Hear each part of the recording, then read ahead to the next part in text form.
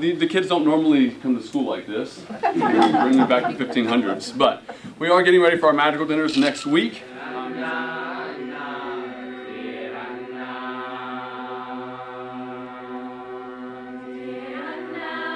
This is a highlight of our one of the highlights of our season, and um, the kids look forward to it every single year.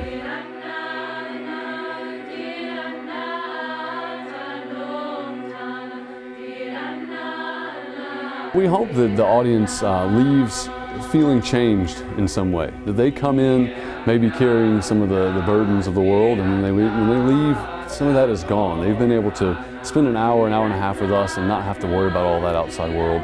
And that somehow we've touched them uh, in a way that inspires them to go out and, and create beauty in life or to go out and, and, spread love and kindness and joy to everyone else. So that's always our goal is to, to uh, inspire our audience and to um, kind of transport them into another world for a little bit.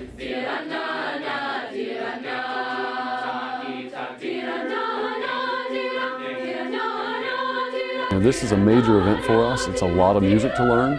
Um, it allows us to really get into some fine-tuning details and the skills that they use and learn through that allow us to do really well in competitions as well.